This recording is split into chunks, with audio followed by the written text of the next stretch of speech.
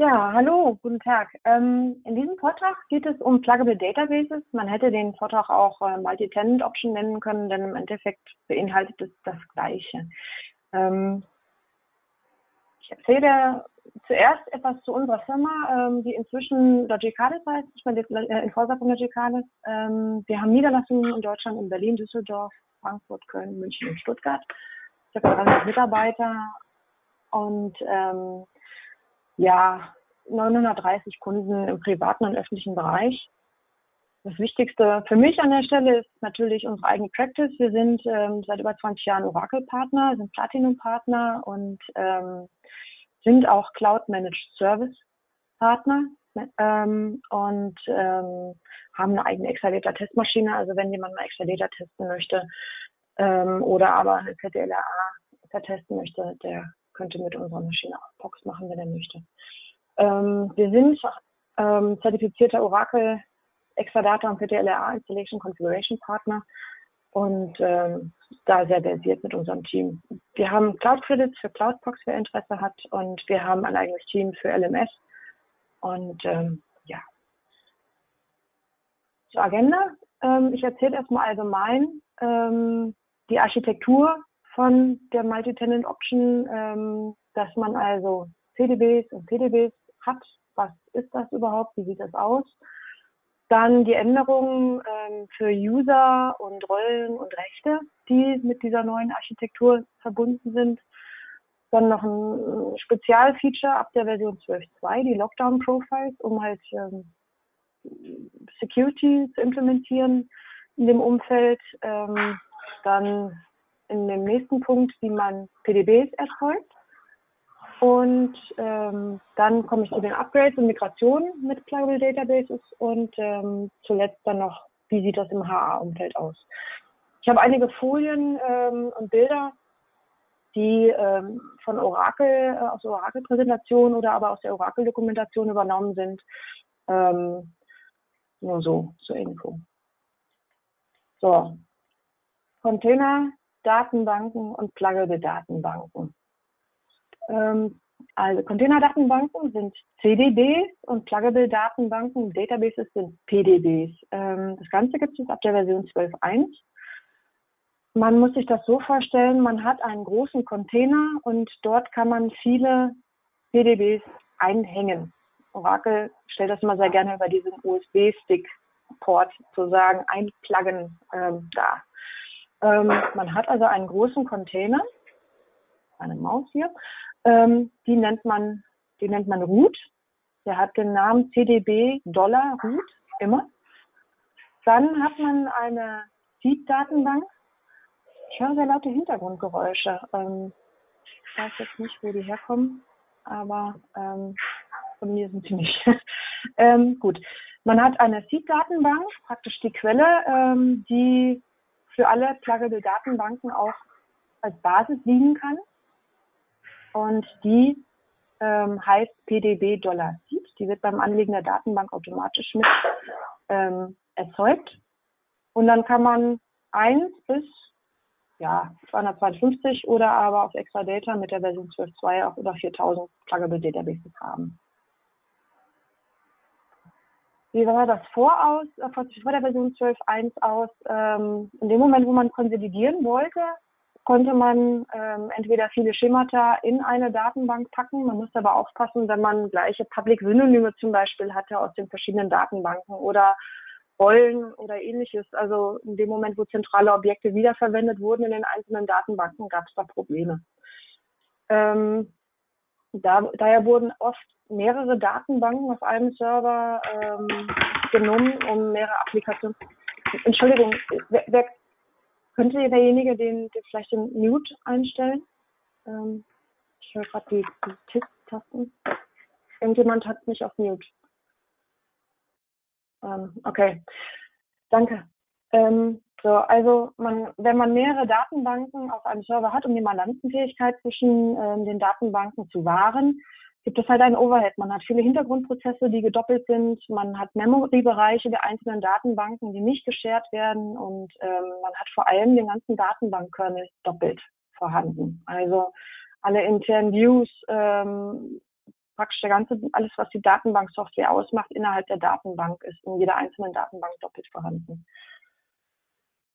Ähm, dann gab es mit der Version 12.1.02, äh, oder nein, mit der Version 12.1, 01 natürlich als erstes, ähm, ist aber nicht mehr supported, ähm, mögliche Aufbauten, dass man sagt, okay, wir machen nach wie vor eine Standalone-Datenbank, die heißt Non-CDB, weil ähm, diese Architektur zukünftig äh, deprecated ist, ähm, ist sie also inzwischen mit einem eigenen Titel versehen. Ähm, ab der, mit der Version 12.2 äh, wird sie aber noch unterstützt. Man kann also nach wie vor klassische Datenbanken aufbauen und ähm, das wird auch noch für die Version 18c, die eigentlich nichts anderes als eine 12.202 oder für die Version 19c, die der Version 12.203 unterliegt, ähm, auch so sein. Dann gibt es eine Single Tenant, die also einen Container hat, die CDB Root, dann eine Quelldatenbank, die CDB Seed und eine einzelne Pluggable Database, CDB 1 an dieser Stelle. Und dann gibt es Multi-Tenant, die mehrere Pluggable Databases haben kann, 252 im Nicht-Exadata-Umfeld ähm, oder Supercluster oder der Cloud und in der Cloud mit der Version 18c inzwischen über 4000. So, die zugrunde liegenden Lizenzbedingungen sind ähm, die Standalone, so wie immer, wie gehabt, ähm, keine extra Lizenz notwendig. Single Tenant ist auch keine extra Lizenz notwendig, geht auch mit Standard Edition und Enterprise Edition und ähm, Multi-Tenant braucht die Multi-Tenant-Option und benötigt, weil es eine Datenbank-Option ist, eine zusätzliche, die ähm, braucht die Enterprise Edition, wie alle bis auf RAC, alle Datenbank-Optionen.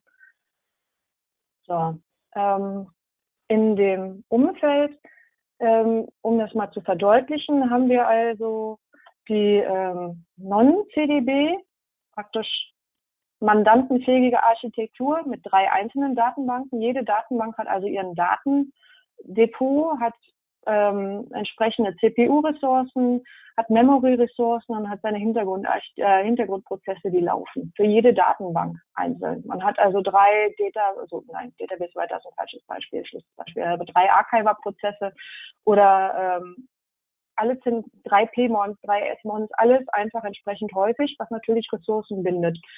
Ähm, beim Wechsel auf die Multi-Tenant würde man für die drei Datenbanken über äh, die Verwaltung der Container-Datenbank nur noch einmal ähm, zentral die CPU-Ressourcen äh, nutzen und auch zentral die Memory-Bereiche. Und das dann für die ähm, einmalig vorhandenen Hintergrundprozesse ähm, entsprechend nehmen. Was ist das Zentrale an der Stelle? Ähm, eine CDB nutzt ähm, praktisch die SGA, zentral. Man hat also den Shared Memory äh, und die ähm, und die Prozessspeicher ähm, dann auch alles über die CDB verwaltet. Man hat die Hintergrundprozesse äh, zentral über die CDB verwaltet. Der ähm, Datenbankkernel ist nur einmal vorhanden in der Root-Datenbank. Ähm, Redo-Log-Dateien und Archive-Logs werden auch auf ähm, Root-Ebene verwaltet und angelegt meine Maus hier. System, der System Table Space und der Anu Table Space ist ähm, mit der Version 12.1 ähm, nur in der Root vorhanden.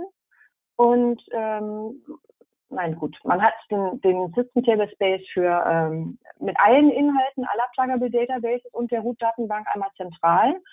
Ähm, und man hat mit 12.1 nur einen Undo. Man hat die Kontrollfile-Verwaltung über die Container Database genauso wie die Parameter-Files. Ähm, wie das SP-File. Man hat auch das Change-Tracking-File nur auf CDB-Ebene und das Wallet auch. Und äh, in der CDB werden verwaltet die Common User, da komme ich dann später drauf rein, äh, denn ähm, die zentralen Common Rollen und die äh, Common ähm, Rechte, also Privilegien.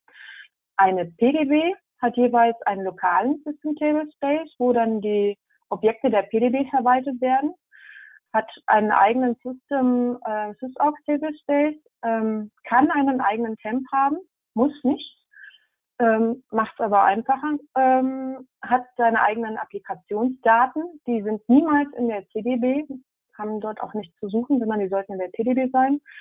Ähm, ab der Version 12.2 kann man einen lokalen Anhu haben. Wofür man den braucht, erzähle ich dann später.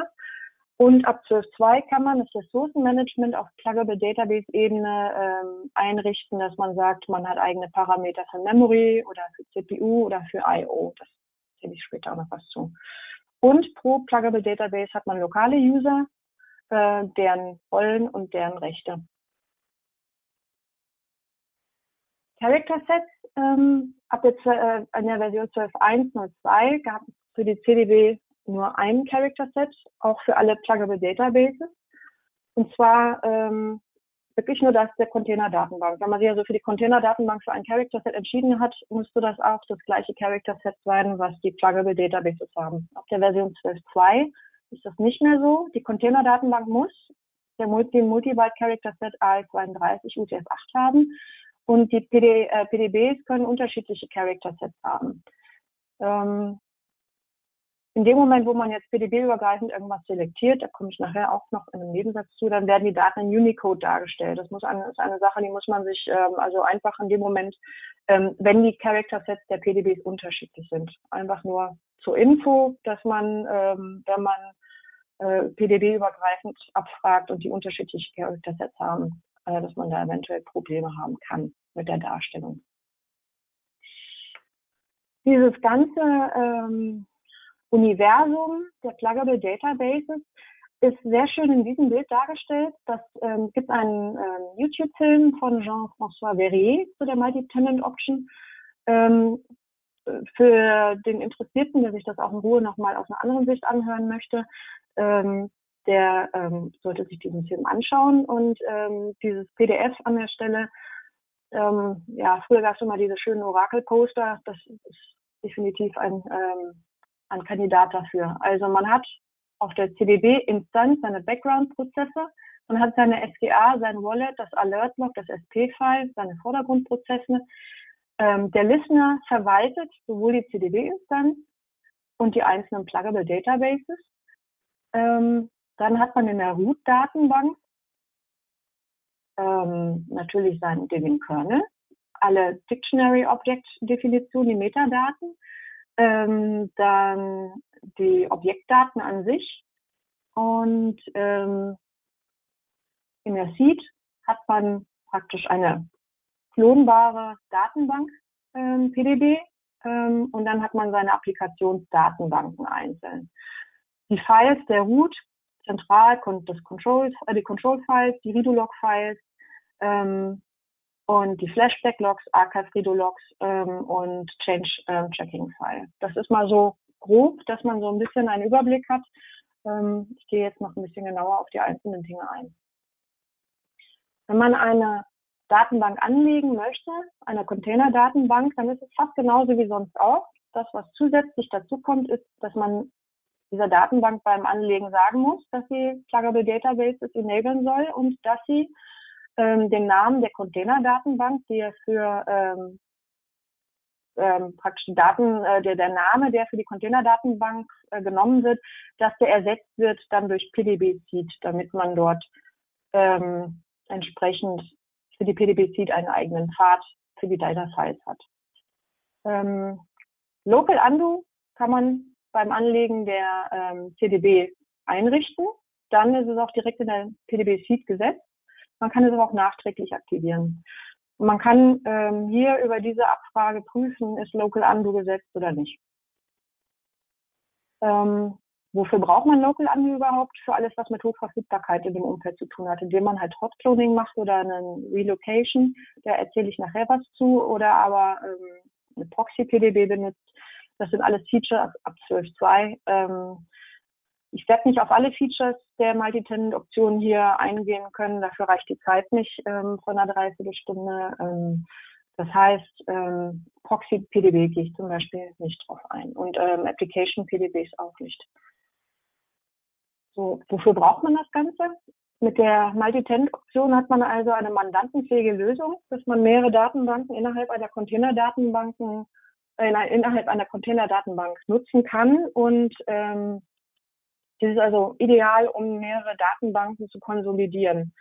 Und ähm, es hat ein paar nette ähm, Nebeneffekte, nicht nur, dass man Systemressourcen spart, in CPU, Memory oder aber ähm, beim, beim Backup der Datenbanken, weil man halt den Kernel nur einmal sichert und nicht mehrfach. Ähm, es hat auch den Vorteil, dass man ähm, zum Beispiel schneller patchen und upgraden kann. Und ähm, wenn man zum Beispiel die ganze Container-Datenbank patcht, ähm, dann ist es egal, ob die viele PDBs hat. Äh, mit 12.1 würde man die ganze Container-Datenbank und implizit alle Pluggable Databases auf in einem Schwung patchen. Ähm, ab 12.2 kann man das reiner granulieren, was man wann patchen möchte. Und ähm, zum anderen kann man auch schneller upgraden, wenn man zum Beispiel sagt, okay, ich mache jetzt ein Ausstecken meiner Pluggable Database aus einer Container-Datenbank der Version 12.1.2 und ich hänge die dann in die Version 12.2.0.1 ein. Ähm, und da muss man zwar noch ein paar Nacharbeiten machen, da komme ich später noch zu, aber es ist trotzdem viel schneller als eine ganze Datenbank, ähm, eine ganze Datenbank zu abzugraden. Ähm, der Cut-Upgrade ist schneller.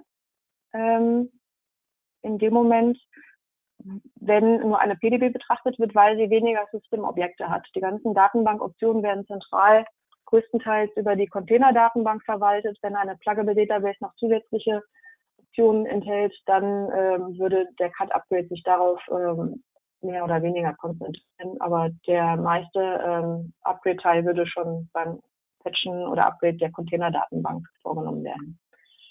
Ähm, mit 12.2 gibt es nette Features beim Upgrade. Also zum einen äh, mit 12.1 macht man ein Upgrade, indem man das Cut Control Perl Script aufruft. Ähm, gut, mit 12.2 hat Oracle gesagt, okay, war anscheinend für manche Leute zu, zu schwierig oder zu kompliziert. Deswegen haben sie einfach ein Shell-Skript äh, DB Upgrade eingeführt, was nicht, was das Gleiche macht, was im, im Endeffekt wie das Perl-Skript.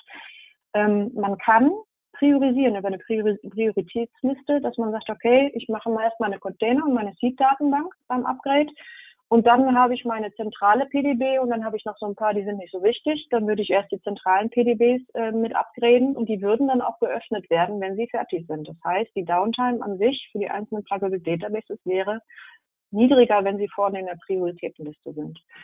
Zum anderen kann man auch noch ähm, Upgrades emulieren, indem man die Option minus E mitgibt. Das ist, um zu schauen, wie lange braucht es, äh, gibt es eventuell irgendwelche Probleme. Das ist ganz schick. Ähm, in dem Moment, wo man jetzt also einen neuen Kosmos hat, eine eigene Architektur, gibt es auch mehr Views.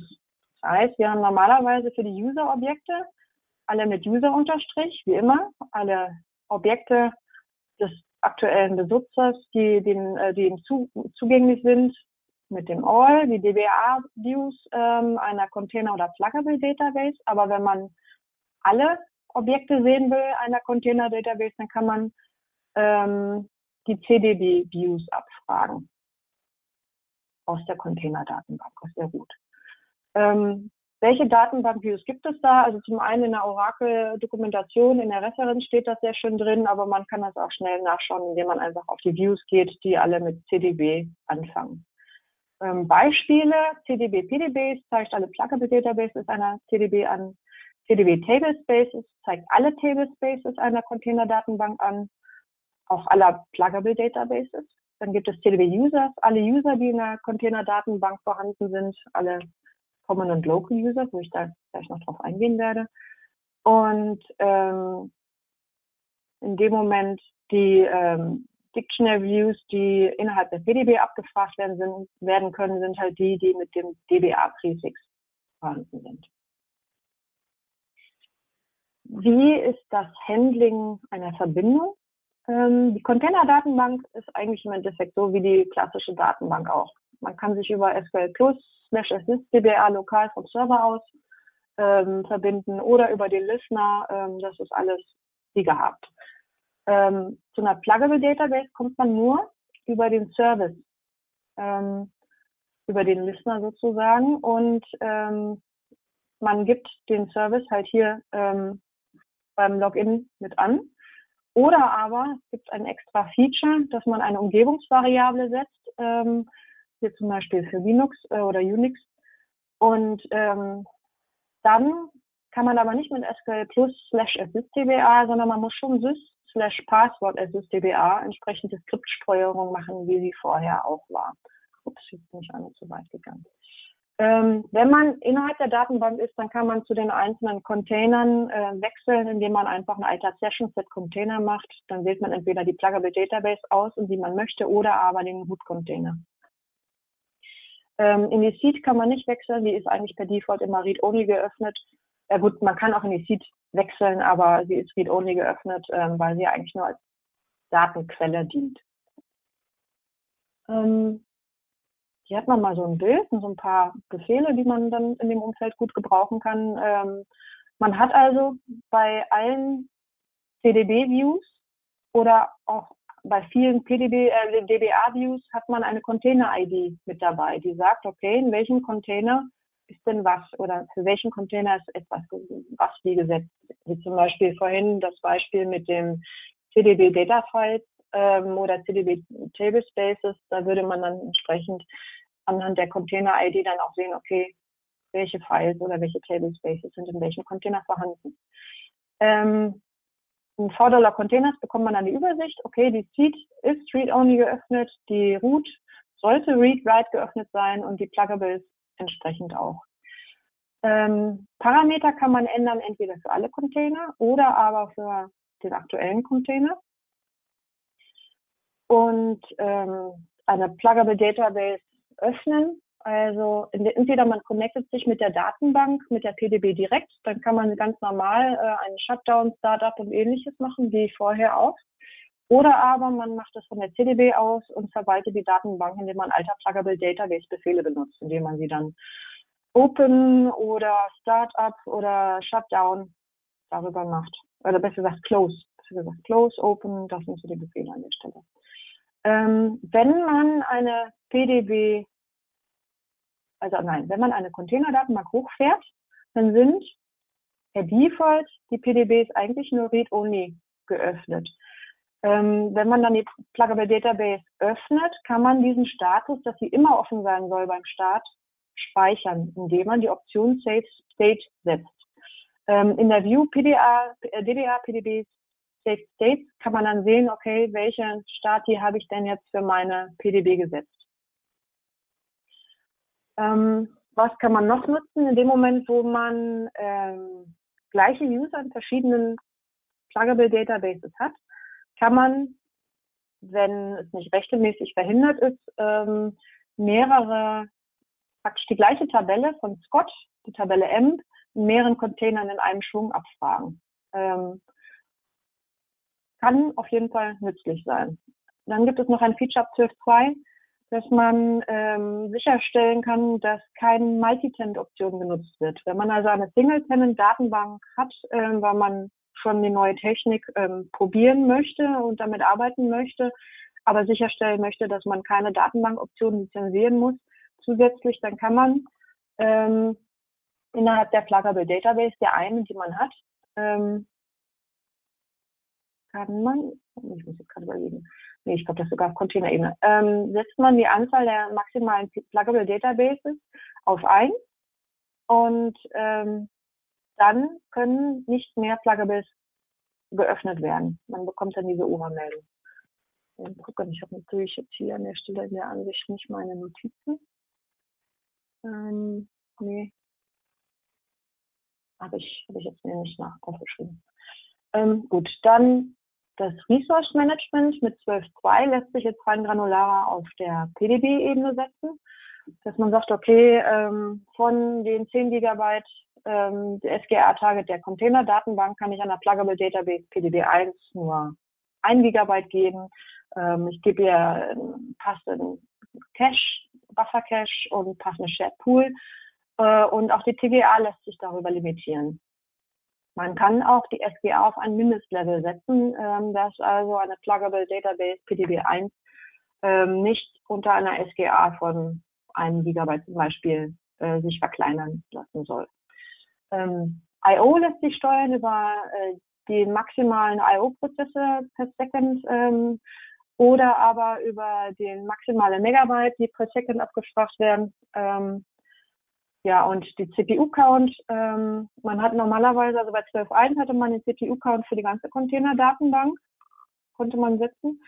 Ähm, und bei den Pluggable Databases ab 12.2 lässt sich dann sagen, wie viele CPUs die dann entsprechend nutzen können. Das ist aber ähm, für Datenbankoptionen, soweit ich weiß, rechtlich nicht bindend. Das heißt, man muss schon die ganze Datenbank ähm, Container, also es ist halt kein ähm, Hard Partitioning oder kein ähm, ja, Lizenzpartitionierung, die dort genutzt wird, sondern einfach nur eine Ressourcenzuweisung. Wenn man wissen möchte, welche Parameter gibt es denn auf PDB-Ebene, die ich ändern kann, dann kann man die, entweder die V-Dollar Parameter View abfragen und schauen, ähm, in der Spalte ist PDB Modifiable True. Ähm, oder aber ich schaue innerhalb der PDB V-Dollar System Parameter, ähm, wie ist denn was für mich gesetzt und ähm, man kann in der Root gucken für die Container-ID der Pluggable Database, die man betrachten möchte. So, und im nächsten Abschnitt geht es um äh, User und Rechte, die mit den neuen Multi-Tenant-Optionen eingeführt wurden. Ähm, was hat sich geändert? Es gibt ein mehrmandatenfähiges User-Konzept, dass man also einzelne User hat, die in den Pluggable Databases vorhanden sind. Ähm, hier zum Beispiel jeweils den Scott und den Hugo. Die können aber auch unterschiedliche Rechte haben. Ich bitte irgendwie mein Touchpad macht immer von alleine weiter. Gut. Dann habe ich den Boss, der darf überall hin. Das ist ein Common User, der darf sich sozusagen in jede Pluggable Database verbinden. Ähm, den Sys gibt es wie gehabt.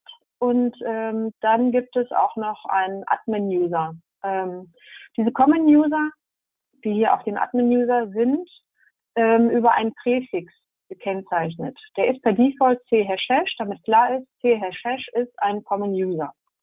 Für die Rollen gilt das Gleiche. Alles, was mit C-Hash anfängt, ist entweder ein Common User oder eine Common Role, die für alle Datenbanken, alle Pluggable Databases einer Container-Datenbank ähm, Zugang haben, überall vorhanden sind. Ähm, Common Roles können aber in einzelnen Pluggable Databases unterschiedliche ähm, Rechte beinhalten. Also Common User sind in allen äh, Containern gleich. Ähm, sie werden in der Root angelegt. Wie gesagt, mit CHhash ist der Default als Präfix. Ähm, sie haben lokal oder für alle PDBs Rechte und Rollen und man können sich an allen Pluggable Databases anmelden. Die kann man ähm, von so einem Common User äh, die Passwörter ändern, indem man entweder sagt, okay, ich mache es für Container All oder aber man sucht sich den Container aus, für den man ähm, seine ähm, Anpassungen machen möchte. Also Alter Session, Set Container All, also Set Container CDB Root. Ich wechsle also in die Root und dann kann ich sagen, okay, ähm, für den Entschuldigung. Ähm. Ich kann über den ähm, User Sys, äh, kann für den User Sys das Passwort für alle Container gleichsetzen und ändern. Ähm, Dementsprechend kann ich dann auch Common Usern ähm, für alle Container ähm, Rollen oder Privilegien vergeben. Ich kann nicht mehr hier mit meiner Maus hin und her zu wechseln, weil ähm, der dann die Folien ändert. Ähm, mit 12.1 gab es ein Problem, dass ich reingerauscht bin, ähm, dass zum Beispiel der ähm, Substack-User Perfstadt sich nicht anlegen ließ, weil er ja nicht diesen ähm, dieses Präfix im Namen beinhaltet. Wenn man den jetzt versucht, in einer Pluggable Database anzulegen, wurde diesem User auch eine ähm, Rolle, eine Common Role zugewiesen und die darf aber nur einem Common User zu, äh, zugewiesen werden. Dann hat man zwei Möglichkeiten. Entweder legt man ähm, einen anderen User als Perstadt an und versucht darüber ähm, den Rollout oder aber wenn man das wie Oracle das ähm, empfiehlt, einen lokalen User in einer Pluggable Database anlegt, dann ähm, geht das mit ähm, den neueren, nach, mit den neueren Patches. Steht auch genau in dieser Moss-Note drin, ähm, dass man einfach ähm, das SP-Create-Skript ausführen lässt. Ähm, aber in dem Moment, wo man den ORA 65040 hat, ähm, kann man sich behelfen, indem man ähm, den Hidden-Parameter Oracle Script setzt und ähm, auf True und dann kann man Dinge tun, die man sonst nicht tun kann. Dieser Workaround funktioniert übrigens auch für andere Dinge. Ähm, wenn man mal danach sucht im Internet, findet man einige Blogs, die das für diverse Anpassungen nutzen. Aber ja, sollte man aufpassen, was man macht, ist nicht unbedingt supported. Haben wir natürlich viele Datenbanken, viele Pluggable Databases mit Rechten, die ähm, alle innerhalb einer Container-Datenbank sind. Vielleicht möchte man dort Limitierungen haben, Zugriffsbeschränkungen einführen und dann kann man das mit Lockdown-Profiles machen. Ähm, man kann zum Beispiel auf ähm, Alter System Limitierungen setzen, dass man sagt, okay, ich lege ein Lockdown-Profile an und sage, ich disable ähm, Alter System Befehle in diesem Lockdown-Profil HRProf und dann erlaube ich nur ähm, Zugriffe über das Statement Alter System plus Shared Pool. Kann man fein granular machen. In der Dokumentation, ähm, in dem Administrator Guide stehen da und im Security Guide stehen da einige Beispiele. Vor allem im Security Guide steht auch, was sich alles ändern lässt ähm, an äh, Befehlen und ähm, welche Packages für den Netzwerkzugriff zum Beispiel eingeschränkt werden können, UTL-File, UTL-TCP, äh, SNMP und so weiter. Ähm, in der Pluggable Database kann man dann dieses ähm, Lockdown-Profile aktivieren über den PDB Lockdown ähm, Init-URA-Parameter, dem man dann das Lockdown-Profile zuweist.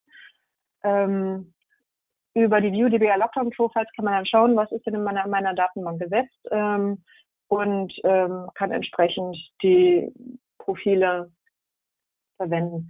Ach genau, in der SQL Language Reference, da steht, ich habe gerade mal nochmal hier in meinen Notizen geguckt, in der SQL Language Reference steht drin, welche ähm, Statements, welche Features dort ähm, enabled, disabled werden können. Bei den Datenbankoptionen sind das aktuell nur Partitioning und Advanced Querying, es ist aber mehr ähm, vorgesehen. Gut, wie bekommt man jetzt die Pluggable Databases? Man kann, wie vorhin schon erwähnt, aus der SIEP-Datenbank, die ihren eigenes Set von Datenbank-Files hat, eine ähm, neue Pluggable Database erzeugen, die dann aber leer ist. Das funktioniert über Create Pluggable Database. Man gibt dem Ganzen beim Anlegen einen Admin-User mit, ähm, der auch seine Rolle dann entsprechend initial bekommt und dann sagt man nach FileName Convert, okay, meine Files sind nicht im Verzeichnis PDB-C, sondern PDB1 passend zur Pluggable Database, die ich hier anlege. Die ist dann aber leer ähm, initial, das heißt, befüllen würde man die dann über die klassischen ähm, Mechanismen, dass man ähm, Data Pump nutzt oder dass man Transportable Table Spaces oder SQL Loader oder ähm, Create Table Select, also da hat man die üblichen ähm, Datenbankmethoden zur Verfügung, um die, um die PDB zu befüllen. Wenn man aber jetzt eine Pluggable Database hat, die neu verteilt werden sollte und geklont werden sollte, ist sinnvoll für ähm, Testumgebung zum Beispiel, für Entwicklungsumgebung. Ähm, dann kann man die ähm, Pluggable Database mit 12.1 würde man sie noch Read-Only setzen müssen. Und ähm, mit 12.2 kann man, wenn man lokalen Undo ansetzt, ähm, verwendet, kann man dann auch ähm, die Pluggable Database ähm, rüber kopieren ähm, in eine neue PDB. Neue Features mit 12.2 sind auch, dass man Parallelisierung anstellt und dass man sagt, okay, ich möchte nur die Metadaten der Pluggable Database 1 in die PDB 2 überführen. Das heißt, die Applikationsdaten sind alle gar nicht mit drin vorhanden. Ähm, ist auf jeden Fall sehr, sehr ähm, nützlich und ähm, ich selbst würde empfehlen, dass man auf jeden Fall mit der Version 12.2 oder 18c, was ja eine 12.202 ist, ähm, mit dem Pluggable Databases anfängt, ähm, weil 12.1 viele Dinge noch nicht so gut liefen. Ähm, Upgrades und Migration. Ähm, wenn man also eine PDB migrieren möchte, kann man zum Beispiel ein Upgrade implizit ausführen, dass man sagt, okay, ich habe eine Container-Datenbank der Version 12.102 und ich hänge die jetzt in einer Container-Datenbank der 12, Version 12.201 ein. Dann ähm, ist der Upgrade-Prozess deutlich kürzer, weil hier ähm, der Kernel der Version 12.102 schon hier in der neueren Version vorliegt. Das heißt, die zentralen Elemente, auf die die Pluggable Database ist, wie zentrale äh, Datenbankoptionen und so weiter, sind hier alle schon in der neueren Version vorhanden. Das heißt, nur Dinge, die die PDB selbst verwaltet, ähm, würden gepatcht und abgegradet werden. Die Applikationsdaten sind da ja eh von ausgenommen. Es geht da wirklich nur um den Datenbankkernel an sich. Und daher ist der Upgrade über diese Methode deutlich schneller. Ähm, um so eine Pluggable Database umzuhängen, gibt es ähm, im Endeffekt die Methode, dass man sagt, okay, wir nehmen die PDB und wir machen die Metadaten, alle User, Objekte und so weiter. Ähm, die Informationen werden in einem, oh, nein, das gesagt, anders. Ähm, die, die Informationen, welche Files liegen wo, was gehört zu meiner Pluggable Database dazu, die werden in das XML abgelegt ähm, und dann kann man dieses XML nutzen beim Einhängen in die Zieldatenbank, um dann, damit die neue Datenbank sieht, okay, dort hängen meine Files. Ähm, kann man auch anpassen, wenn sich die Pfade ändern. Das funktioniert. Ab 12.2 gibt es die Möglichkeit, das Ganze direkt in einem Archiv anzulegen, zusammen mit den Datenbankfiles. Ähm, das, das spart einem auf jeden Fall dann ähm, den Schritt, man kopiert nicht nur das XML, sondern man würde das ganze Archiv in einem Schritt rüber kopieren und ähm, die Files dann ähm, auf dem neuen System, zum Beispiel in der neuen Datenbank oder auf einem neuen Server bereitstellen. Ähm, den Containerdaten, der alten Containerdatenbank muss man jetzt die PDB1 natürlich noch äh, rauskonfigurieren. Das sollte man mit Keep Data Files, Files machen, da sonst in dem Moment, wo man das nicht angibt, die Files gelöscht werden. Wenn man das jetzt nicht als Archiv angelegt hat, dann sind die Files weg. Das wäre dann an der Stelle ähm, sehr schade. Da muss man sich mit Backups umschlagen. Ähm, auf der Zielseite würde man dann die neue Datenbank, die neue PDB an, anlegen. Ähm, entweder indem er das XML ausliest und dort dann die Pfade findet, ähm, wo seine ähm, Pluggable Data Files liegen, oder aber halt über das Archiv. Da ist ja dann alles in einem zusammen abgelegt. Und danach kann man dann die PDB öffnen und den Status zum Beispiel speichern, wie vorhin schon erklärt. Ähm, ab 12.2 gibt es ein Feature, das ist, ähm, finde ich persönlich sehr cool. Man kann Datenbanken ähm, mit minimaler Downtime umlegen, dass man also eine Container-Datenbank hat. Alt ist immer bei mir jetzt hier rot dargestellt. Das sieht man hier ist natürlich etwas schwierig. Mal gucken, ob ich das überlegen kann. So. Ähm, sieht man hier, okay, ich in meiner alten, äh, also meiner Container-Datenbank ähm, TDB1 habe ich eine Pluggable Database, die möchte ich umhängen in eine Container-Datenbank 2. Ähm, dann funktioniert das über den Relocate so, dass ähm, man einfach nur über einen Database-Link sich an die ähm, Quellen CDB verbindet ähm, und dann über das Anlegen, äh, über äh, Create Pluggable Database mit der Option Relocate die Files automatisch hierüber transferiert werden, in die neue Lokation abgelegt werden und die Datenbank der neuen CDB bekannt gemacht wird. Ähm, was muss man also selber in den Einzelschritten machen? Für, diese, äh, für dieses Feature braucht man einen lokalen Undo für die beiden CDBs. Ähm, und Archive-Log-Modus muss an sein. Das kann man initial machen, dass man einfach sagt, Startup Upgrade, sein Local Undo für die CDB aktiviert und den Archive-Log-Modus einstellt. Dann braucht man auf der Quell-CDB einen Common User mit den entsprechenden Runs. Ähm, welche nötig sind, erkläre ich gleich noch kurz was zu. Ähm, auf der Ziel-CDB braucht man den Database-Link, mit dem man sich dann ja verbindet gegen die und mit dem Common User verbindet man sich dann ja hier entsprechend über den Database Link an der Quell CDB und dann macht man einfach nur ein Create Pluggable Database PDB1 from PDB1 at Remote und dann Relocate. Ähm, der Name muss dabei gleich bleiben. Ähm, wenn man nur Relocate nutzt, wird die Pluggable Database 1 automatisch gedroppt, wenn sie offen ist. Ähm, für bestimmte Netzwerkszenarien kann man die Option Availability Max nehmen. Dann ist die Pluggable Database PDB1 zuerst, ähm, nein, die Ziel, die Ziel-PDB, ich muss sie eigentlich blau machen, ähm, ist dann zuerst Read-Only und wird hinterher auf ähm, dem Modus Open gesetzt. In der nächsten Folie sehen wir, was dahinter steckt. Ähm, und zwar in dem Moment, wo man ein Relocate macht, hat man mehrere Abhängigkeiten. Die sind alle ausführlich, äh, genauso wie für Hot Clones. Und Beisp weitere Beispiele sind in diesem White Paper dargestellt. Ähm, welche Abhängigkeiten gibt es? Es müssen beide die Quellen- und Zielplattformen die gleiche Engine haben, ähm, sonst also ein impliziter Ermann-Konvert oder sowas kann da nicht stattfinden. Ähm, dann die Datenbankoptionen der Quell-CDB müssen gleich oder ein Subset sein von den Datenbankoptionen der Ziel-CDB, sonst gibt es dort Probleme beim Einhängen.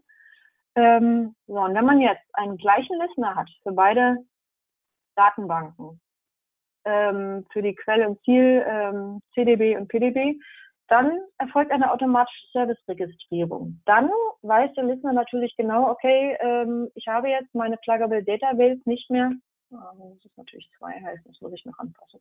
Ähm, meine PDB1 in der neuen Lokation habe ich natürlich ähm, umgehängt. Das äh, Listener weiß davon und lenkt dann automatisch alle Verbindungen auf die neue PDB1, auf die blaue PDB1 zu. Ähm, wenn man nicht den gleichen Listener hat, aber ein gleichen Listener-Netzwerk, dann kann man über die Parameter Local Listener und Remote Listener ähm, die Listener der jeweiligen CDBs ähm, übergreifend bekannt machen, indem man die in einem Listener Networks Parameter definiert. Ähm, dann funktioniert das auch gleich. Der Server, äh, der, der Listener weiß automatisch Bescheid. Ähm, die PDB ist jetzt in einer anderen äh, Lokation ähm, und er macht dann automatisches Client Connection Forwarding. Das heißt, die, äh, der Service ähm, wird automatisch umgelenkt. Und für den Fall, dass man unabhängige Listener hat, die ähm, nicht miteinander bekannt sind, dann braucht man für das Client Connection Forwarding die Option Availability Max beim Relocate. Ähm, dann würde initial halt die Datenbank erst eine Read-Only geöffnet werden und in dem Moment, wo alle Connections umgezogen sind, würde die neue Pluggable Database ähm, ge ähm, geöffnet werden. Ähm, Transaktionen, die auf der alten PDB noch laufen, würden dann, ähm, wenn sie beendet sind, in der alten PDB rübergezogen werden auf die neue PDB. Ähm, und wenn die noch nicht offen ist, dann sind die dort in einem, ähm, ja, wie heißt das nochmal, ähm, die, die Spinning Mode, dass die halt einfach warten, bis die neue PDB offen ist. Ähm, Remote Clone hat ähnliche Voraussetzungen. Das kann man sowohl für Pluggable Databases als auch für Nicht-Container-Datenbanken nutzen. Ähm, für eine Nicht-CDB müssen Quelle und Ziel eine Version größer 12.1.2 haben. Vorher geht es nicht. Ähm, in dem Moment, wo die Quell- und Zieldatenbank im Archive-Log-Modus sind, geht das Ganze ähm, auch mit Read-Write-Datenbanken. Ähm, in dem Moment, wo man sagt, okay, ähm, wenn die beiden Datenbanken ähm, nicht im Archive-Log-Modus sind, dann muss die Quelle Read-Only sein. Local Undo das gleiche, der muss auch, ähm, wenn die Ziel, äh, die Quell-PDB kein Local Undo einsetzt, ähm, und die Ziel äh, äh, auch nicht, ähm, dann muss die Quelle Read-Only sein. Es wird wieder über einen Datenbanklink ähm, kopiert. Man hat, muss wieder die gleiche Engines haben. Auch die Datenbankoptionen müssen wieder zueinander passen. Ähm, mit 12.2 gibt es ein neues Feature. Da kann man ähm, wenn man die Services manuell, ähm, äh, wenn, wenn man Managed Services hat, im Cluster-Kontext zum Beispiel, dann kann man ähm, direkt beim Create Pluggable Database einen neuen Service mitgeben. Und man kann auch dafür sorgen, dass dieser Service automatisch gestartet wird, wenn die Pluggable Database geöffnet wird. Das ist ganz praktisch. Ähm, dann muss man sich an der Stelle bei dem Hot Cloning nicht weiter um die Dienste kümmern, wenn die sich dann des, der, der Zielserver oder der Name des Services ändert. Ähm, bildlich ist es das gleiche wie bei dem Relocate, bloß die Quelle bleibt weiter bestehen. Ähm, das heißt, die Files werden also nicht gemoved, sondern sie werden kopiert. Und ähm, ich brauche also wieder meinen User, der an der Stelle aber ähm, entweder ein lokaler User der PDB sein kann oder ein Common User. Ähm, und er braucht die entsprechenden Rechte. Die stehen auch in dem White Paper, was ich gerade angesprochen habe. Dann ähm, braucht man wieder den Datenbanklink Und ähm, gut, in der TNS Names Einträge muss man natürlich haben für die Remote Pluggable Database oder aber eine andere Namensauflösung, damit ähm, das gefunden wird. Ja, äh, mit 12.1 geht es nur Read-Only, mit 12.2 mit Local Undo auch hier Read-Write, dass die Quelle Read-Write ist. Ähm, wenn man eine Datenbank eine, aus einer, also eine neue PDB anlegen möchte aus einer Nicht-Container-Datenbank, dann muss man vorher die Quelle ähm, vor dem Öffnen der neuen Pluggable Database erst noch konvertieren. Ähm, das funktioniert über dieses Skript. Da gibt es einige Abhängigkeiten. Man muss zum Beispiel aufpassen mit Passwörtern, die man benutzt hat. Sonderzeichen sollte man da an der Stelle mit Passwörtern äh, ja, also man sollte es auf jeden Fall testen vorher. Ich hatte dann im Umfeld einen User, ich glaube, der hatte ein Hash und Passwort drin und dann ähm, kann man an der Stelle, bekam man die Datenbank nicht auf, die hatte dann ein Problem und wenn man die Files nicht irgendwo nochmal gesichert hat, dann ähm, ist das ein Problem.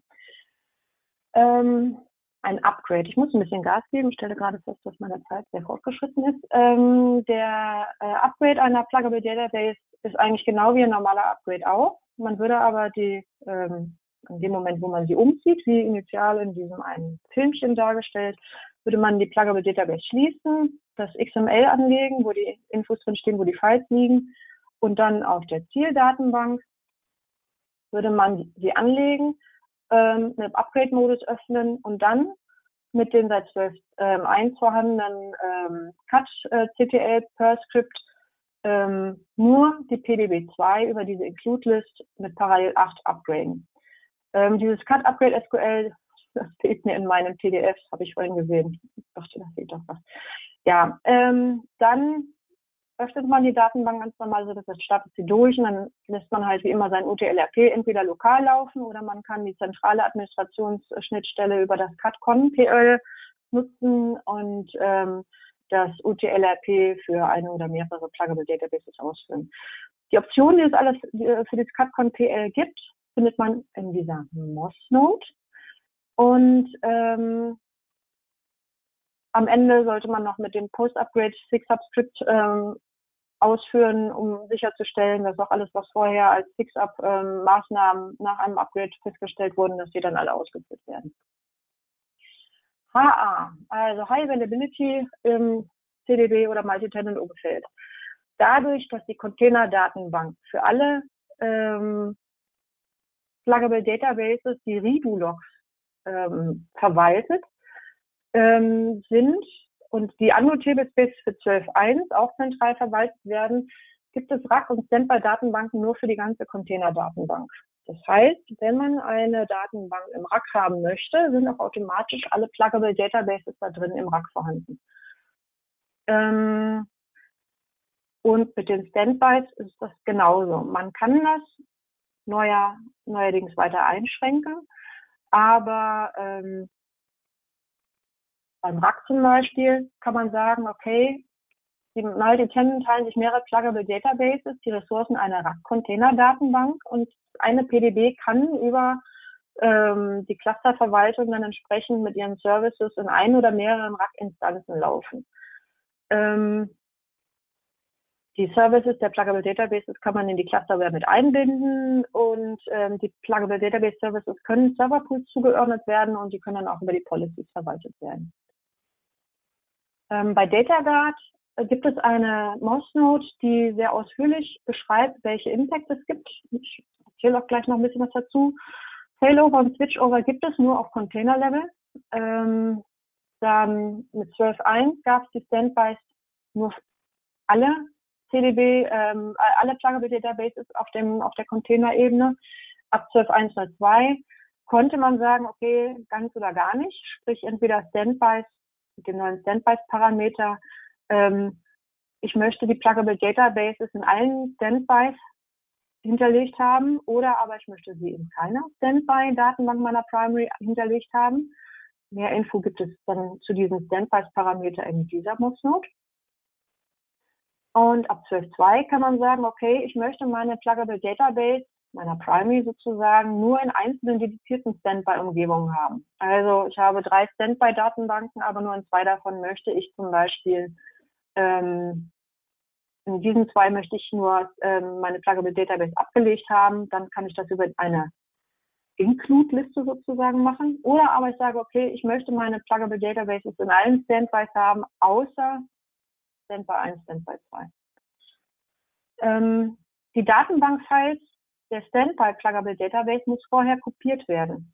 Dafür müssen die Parameter DB Create File Desk und DB File Name Convert passen. Also das, was ähm, im normalen Standby-Umfeld auch sowieso konfiguriert wird. Ähm, wenn man Advanced Data Guide, Guide nutzt, dann äh, mit der Datenbank-Option werden dann auch automatisch, äh, weil die Datenbank ja dann im, im ähm, Read-Only-Modus ist, ähm, können die Files automatisch auch kopiert werden und den ähm, der CDB bekannt gemacht werden. Also dass sie dann im Kernel, wie gesagt, in den zentralen Metadaten der äh, Container-Datenbank bekannt sind. Ähm, wie ist das, wenn ich jetzt irgendetwas an meiner Container-Datenbank im Pluggable Database Umfeld ändere?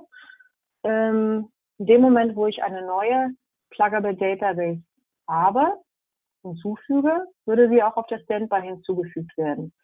In dem Moment, wo ich sie klone innerhalb einer CDB, ähm, würde das auch auf der Standby-Datenbank durchgeführt werden.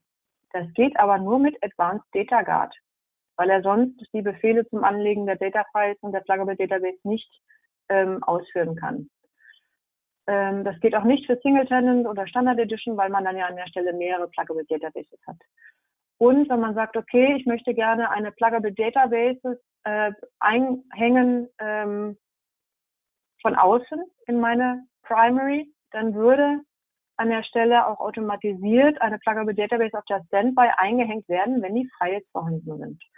So, diese Sonderbedingungen ähm, hat man in dieser Mossnote sehr genau erklärt. Dazu wurden mit 12.2 neue Parameter eingeführt. Ähm, Standby PDB Source File DB Link.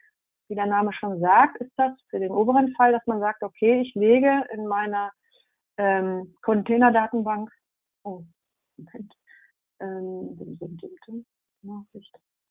Ähm, so, ich lege also in meiner Container-Datenbank in meiner Primary eine ähm,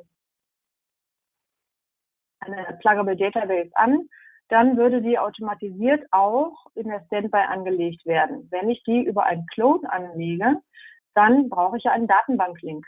Dieser Datenbanklink, über den ich das anlege, muss der Standby bekannt werden. Und das kann man über diesen Parameter machen. Wie gesagt, geht nur mit Active Data Guard und die Quell-PDB muss während des Clonings read-only sein. Ähm, so, für den Fall, dass man sagt, okay, ich hänge in meine ähm, Containerdatenbank von außen eine PDB ein, würde sie automatisiert in der Standby auch eingehängt werden, wenn die äh, Standby weiß, wo sie die Files findet.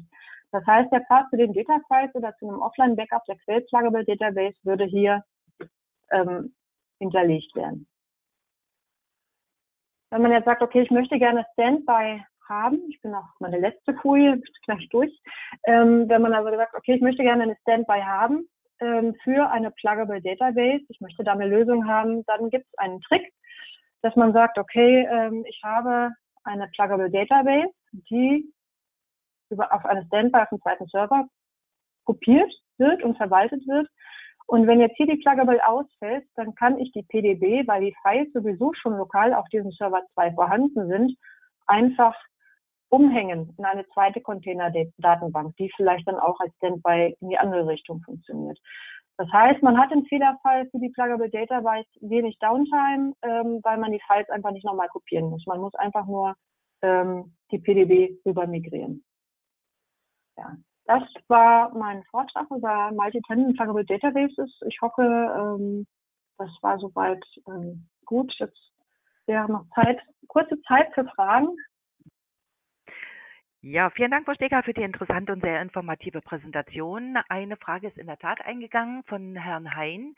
Create äh, Pluggable DB, über welche Zeiten dabei sprechen wir? Zum Beispiel im Vergleich zu äh, Data Pump, auch remote zum Beispiel per VPN machbar?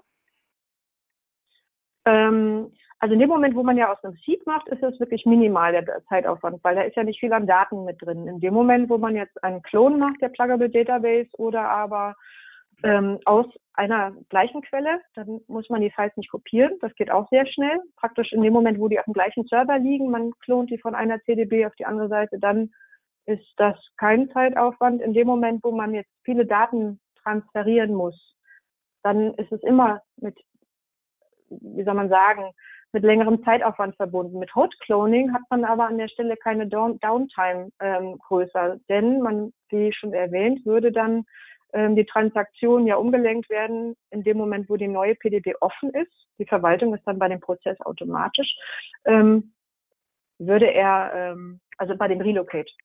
So, beim Klonen, in dem Moment, wo man es einfach bereitstellt, dann würde, wenn die neue PDB geöffnet wird, kann man den Service ja entsprechend mit rumlegen, kann man sich auf der neuen anmelden. Ähm, aber da hängt es immer mit der, mit dem Durchsatz des Netzwerkes zusammen und der Datenmenge, die man in der PDB transferieren will. Das lässt sich nicht pauschal sagen. Gut, vielen Dank.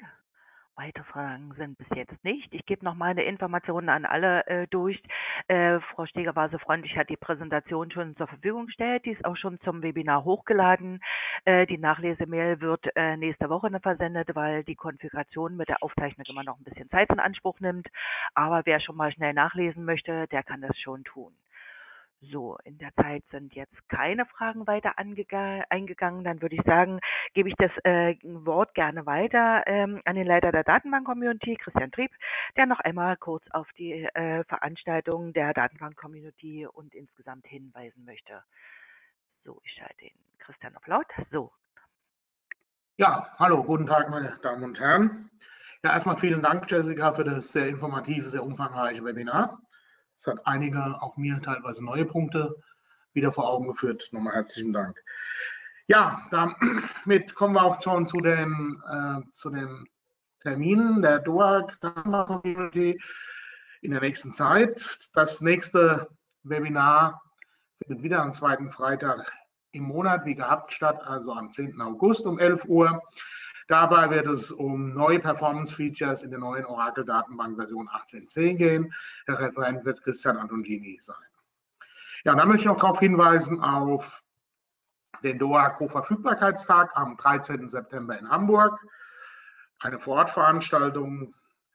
Dazu möchte ich Sie gerne herzlich einladen. Das Programm ist schon online. Sie können gucken und bei Interesse sich anmelden.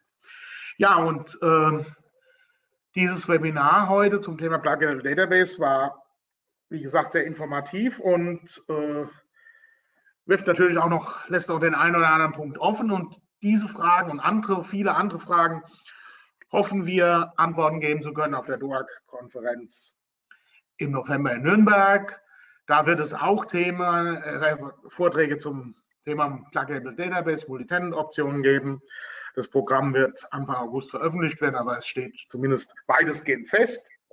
Insoweit kann ich das zumindest sagen, dass es zu diesen Themenbereichen, zu vielen anderen Themenbereichen im Datenbankumfeld interessante Vorträge von sehr guten Referenten geben wird und auch dazu meine herzliche Einladung. Ja, dann bleibt mir jetzt noch übrig, auch den Teilnehmern noch meinen Dank auszusprechen. Ich hoffe, es hat Ihnen gefallen. Wenn Sie Themen, Referentenwünsche haben, wenden Sie sich gerne an mich. Ich werde versuchen, das entsprechend zu berücksichtigen. Falls Sie sonstige Fragen zur DOAG haben, auch gerne an mich. Dann nochmal danke Cornel für die gute Vorbereitung und Organisation und danke Jessica nochmal für das informative Webinar. Und ich wünsche allen ein schön erholsames Wochenende, sonniges Wochenende, zumindest hier scheint die Sonne. Alles Gute, bis demnächst. Auf Wiedersehen. Vielen Dank, Christian. Vielen Dank, Frau Steger. Vielen Dank, liebe Teilnehmer. Ich wünsche allen ein schönes Wochenende und beende für alle das Webinar. Vielen Dank für eure Aufmerksamkeit.